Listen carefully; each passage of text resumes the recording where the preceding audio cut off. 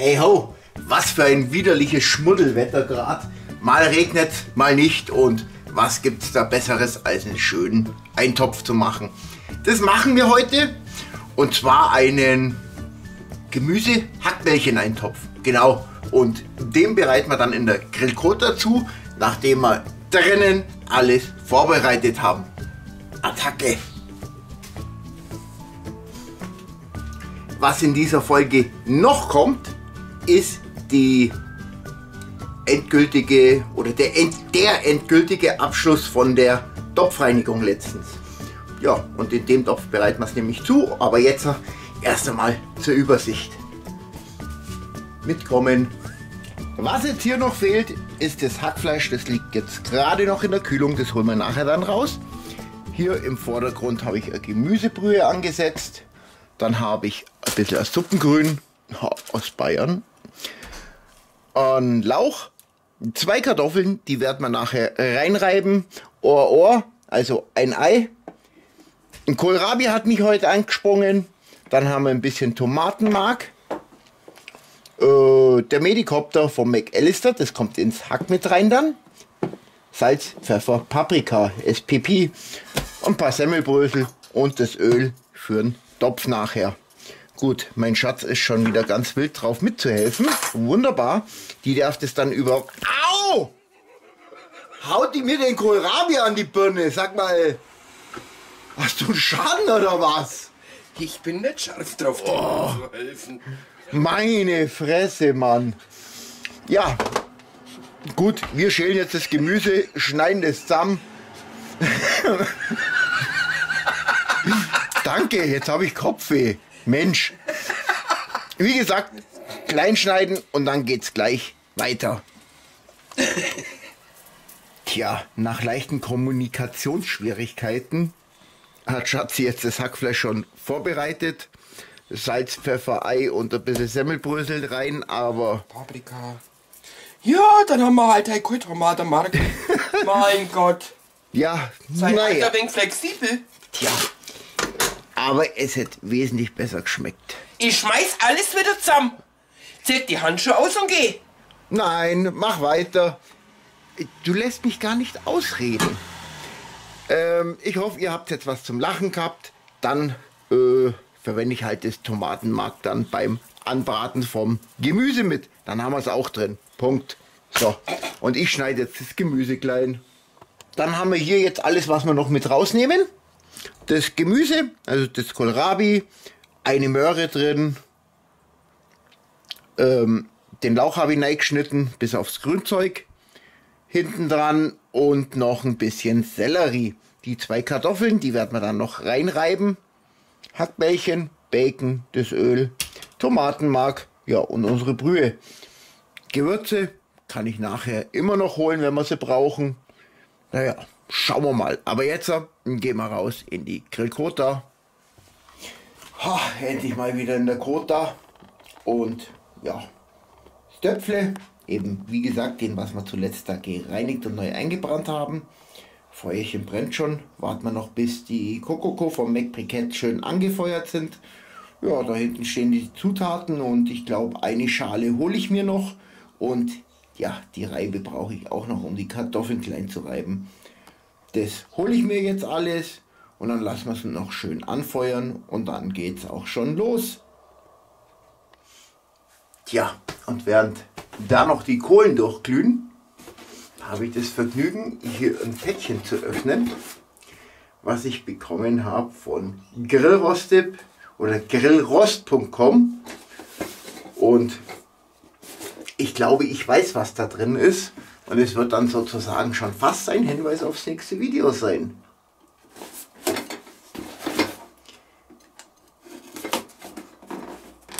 Hoffentlich habe ich recht. Das wird mich mal richtig, richtig freuen.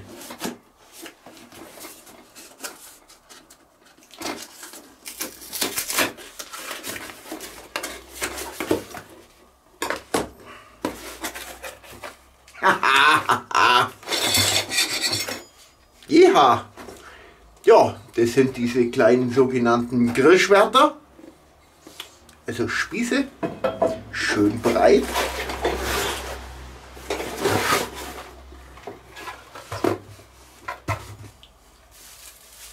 Ja. Drei Stück an der Zahl.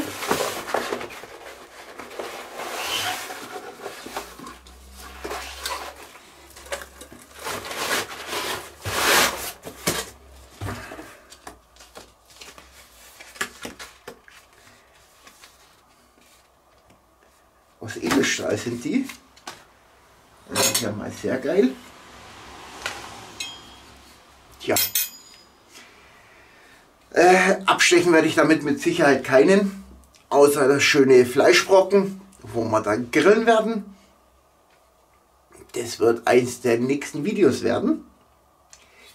Da werden wir die Dinger mal ausprobieren, austesten. Aber ich kann jetzt schon sagen, die gefallen mir mal verdammt gut.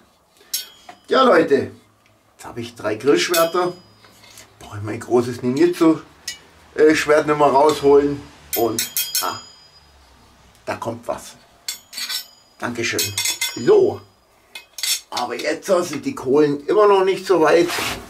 Naja, dann vergnüge ich mich dabei auf YouTube mit Videos gucken. Mhm. Ups. So, das sollte soweit schon mal reichen.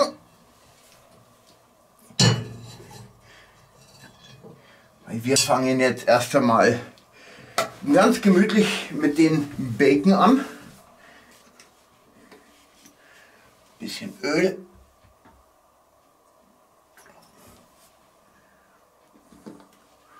Dann schmeißen wir gleich unseren Bacon komplett mit rein. Ja.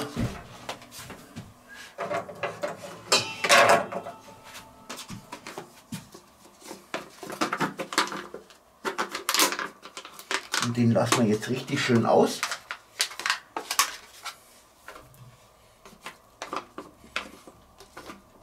Dauert jetzt natürlich ein bisschen, bis der Topf warm ist.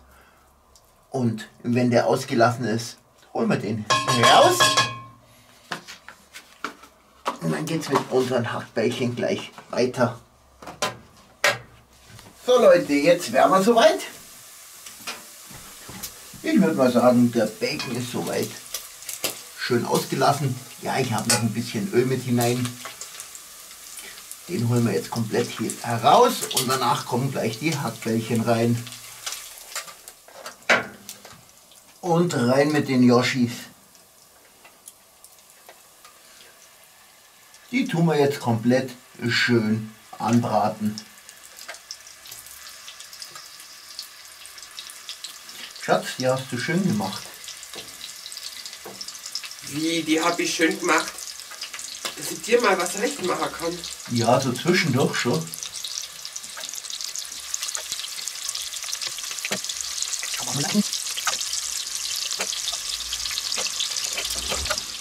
Ich glaube mal, mit der Zusatzbeleuchtung kann man es etwas besser sehen. Ja, wie gesagt, die werden jetzt gedreht und gewendet und richtig schön angebrutzelt. Dass wir so richtig geile Hackbällchen haben. Boah, da muss ich mich zusammenreißen, dass ich die nachher nicht schon naschen tue.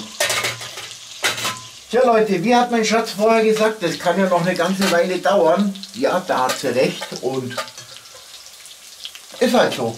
Lecker Essen machen dauert seine Zeit, zumindest bei mir. Hackbällchen sind soweit gut. Die können wir raustun und dann können wir unser Gemüse anbrutzeln. Die Hackbällchen kommen übrigens ganz zum Schluss wieder rein, so dass sie halt dann wieder schön warm sind.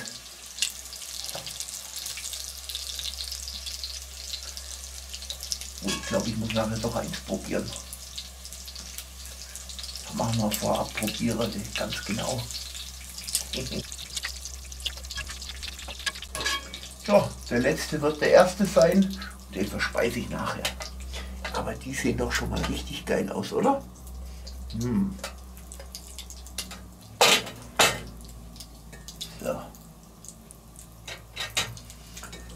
Dann können wir mit unserem Gemüse anfangen. Das werden wir auch in ja, zwei, drei Stufen machen.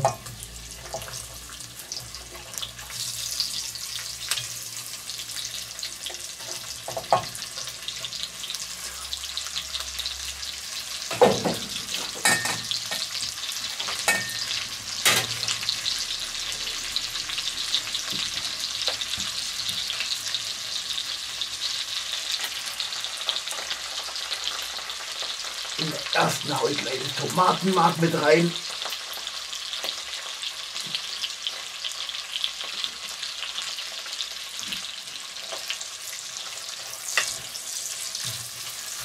Hm, das ist ja schon fast der Frittieren, so viel Öl wie drin ist, aber das soll mir jetzt recht sein. Das passt.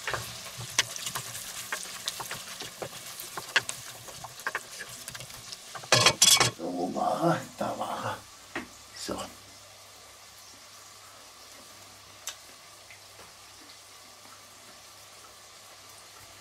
Mm.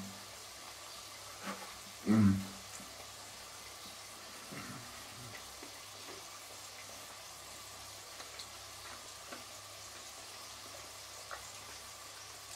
Ich glaube, die muss ich jetzt weit von mir wegstellen. Lecker. Gut. Ich werde jetzt Ladung für Ladung von dem Gemüse anbrutzeln und tja, bei der letzten Ladung hole ich euch wieder dazu. Ja, also die zweite und letzte Ladung ist drin. Schon ein paar Minütchen. Das lasse ich jetzt wirklich noch schön anschmoren, bevor dann ja, das andere wieder hinzukommt, aufgefüllt wird und die Kartoffeln reingerieben. Genau. Soweit, so gut.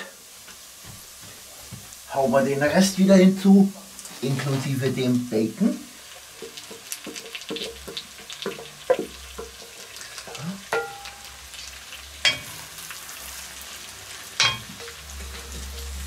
Die Schüssel schnell noch. Und dann kann man mal aufgießen.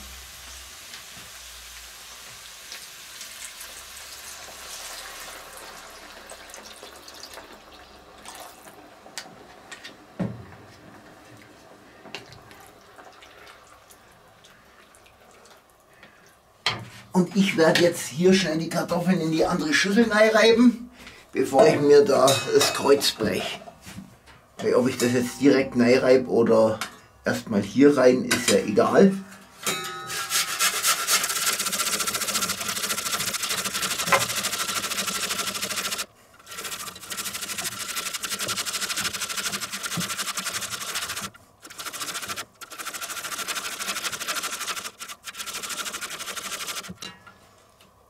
So, und das restliche Stück Kartoffel schmeiße ich nicht etwa weg, schmeiße ich mit den Topf rein.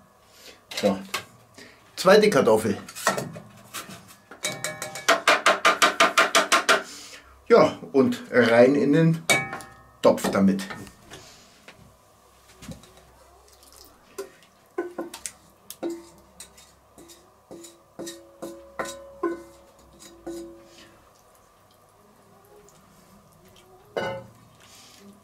Das Ganze dauert jetzt natürlich wieder, bis das schön aufköchelt. Naja, Flüssigkeit lasse ich auf alle Fälle noch da stehen, falls wir es nachher noch brauchen. Aber ansonsten denke ich, ist ja im Moment genügend drin. Nicht, dass Schatz wieder schimpft, ich hätte Suppe gemacht.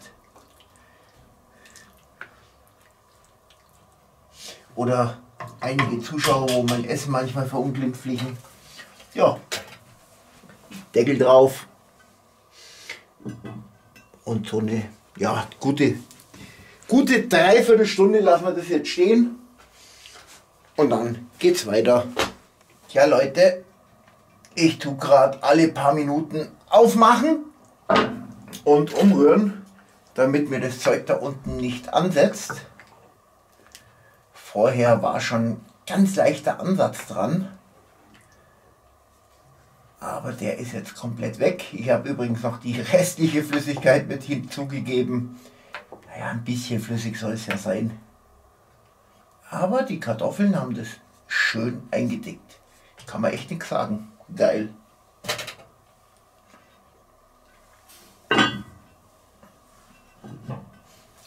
Wie lang noch? Ja, 10 Minuten sowas, Viertelstunde. Und dann können wir die Klößchen reintun. So Leute, und jetzt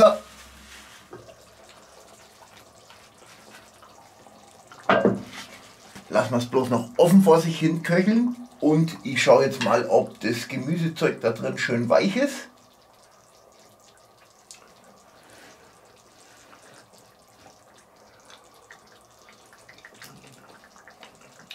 Hm.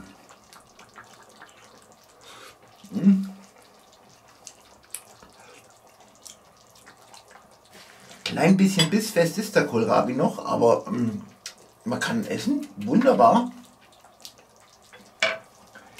Heißt, ich tue jetzt die Hackbällchen wieder mit hinzu. Und dann kann man ein paar Minütchen essen. Wie gesagt, ich lasse den Topf jetzt offen die letzten paar Minuten. Da kann es noch ein klein wenig einreduzieren, weil der Dampf weg kann. Danach können wir endlich essen. Und Leute, ich bin stolz auf mich. Ich habe kein Hackbällchen mehr ge gemopst. oh, sieht das geil aus. Lecker Schmecker. So Leute, Schatz ist auch da und ich nehme es jetzt runter und dann tun wir essen. So, bloß noch schnell Cam umstellen. Ja, das Ganze blubbert sogar noch ohne Feuer unten drunter. Nochmal einmal durchrühren. Das kann jetzt wieder kein Mensch essen, so heiß ist das. Ja, das habe ich auch die Vermutung.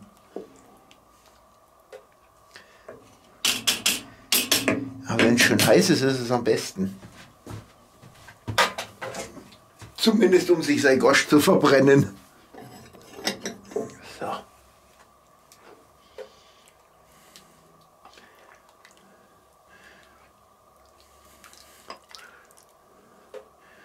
So, nachnehmen kannst du immer noch. Vielleicht schmeckt es da ja gar nicht, dann bleibt mir mehr.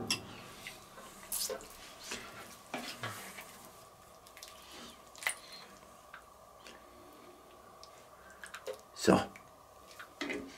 Aber ich bin ja nicht doof, ich lasse das jetzt noch ein bisschen auskühlen.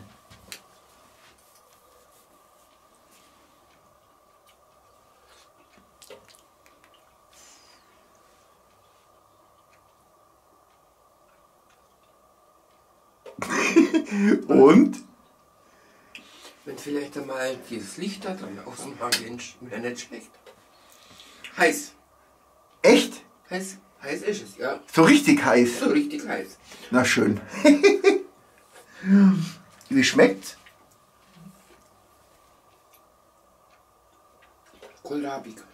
Kohlrabig, ja, das soll's ja auch. Und ähm, dass sie vorher den, das Tomatenmark nicht in das Hackfleisch mit reintan hat, fand ich jetzt als Vorteil. Ich spuck da Essen nicht aus. Aber zuerst hast du mich geschimpft wie Sau. Ja, es war halt eine kleine Planänderung. Ich probiere jetzt bloß mal das Höschen.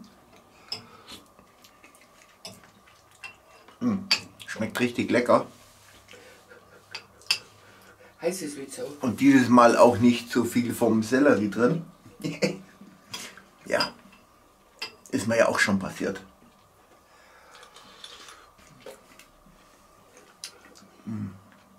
Lecker.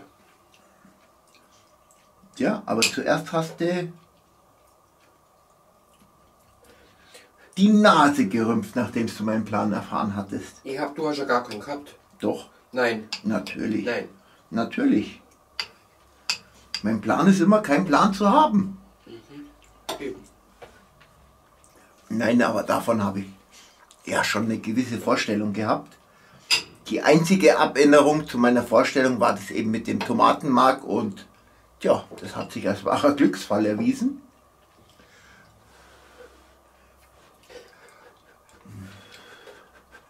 Wirklich heiß. Das ist unverschämt. Oh.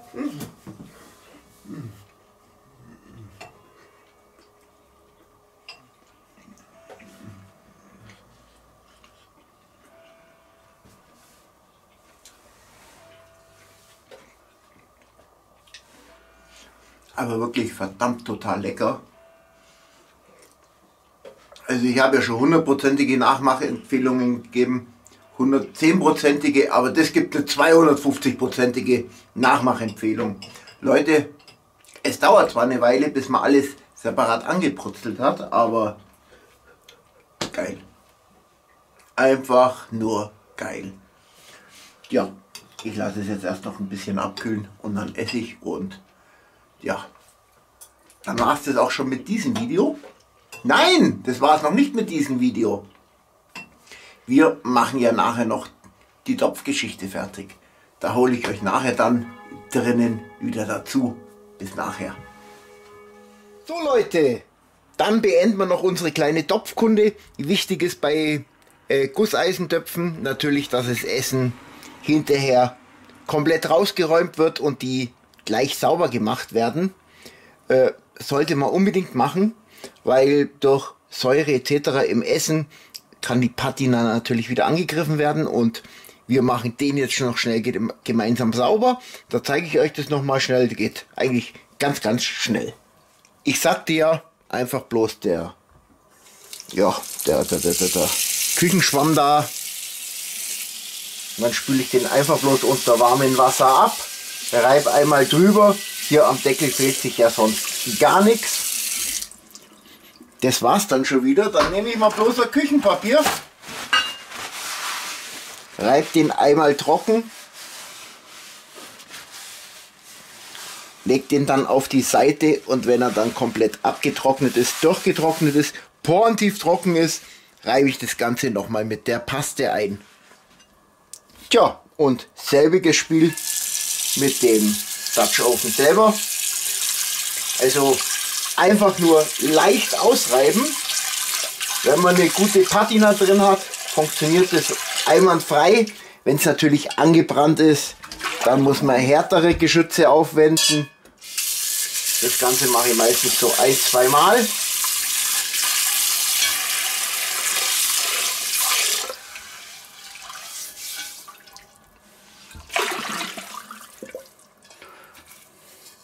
Schau, dass wirklich keine Reste mehr drin sind.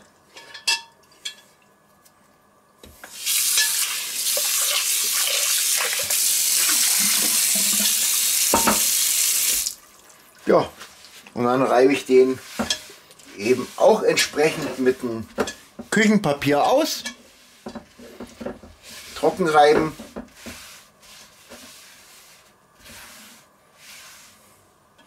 wenn sich da unten jetzt ein Riss bildet, dann weiß ich, wo der hergekommen ist.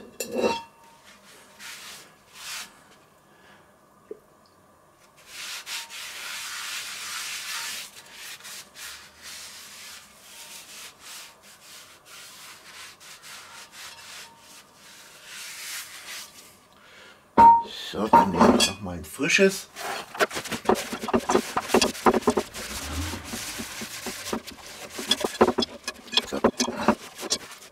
Den ganzen jetzt noch kurz stehen lassen, noch komplett durchtrocknen lassen und dann kann man noch mal einreiben und jetzt Cam auf mich. Tja Leute, also im Video wird man das jetzt wahrscheinlich nicht sehen, aber hier runter, von hier bis hier, zieht sich wirklich etwas, das wie ein kleiner Riss aussieht. Naja, bestätigen kann ich es jetzt noch nicht. Sieht auf alle Fälle so aus. Man wird sehen, wenn man den jetzt noch ein paar Mal in Gebrauch hat. Naja, woher das kommt, wissen wir ja dann. Ja, auf alle Fälle, wer nach dem Einreiben dann nochmal, ist für mich persönlich dann der Topf komplett fertig, wieder einsatzbereit oder einlagerbereit. Und Wer jetzt noch sagt, da war ja jetzt Öl drin, ja richtig.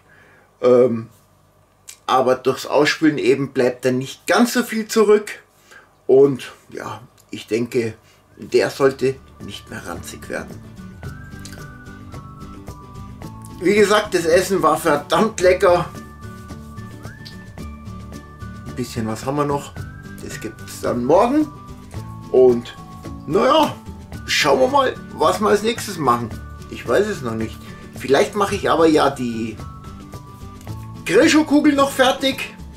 das könnte ich auch noch machen. Und ja, und dann schauen wir noch die Woche, dass wir was mit den Spießen auf die Reihe kriegen. Leute, das war's dann. Wir sehen uns. Tschaikowski.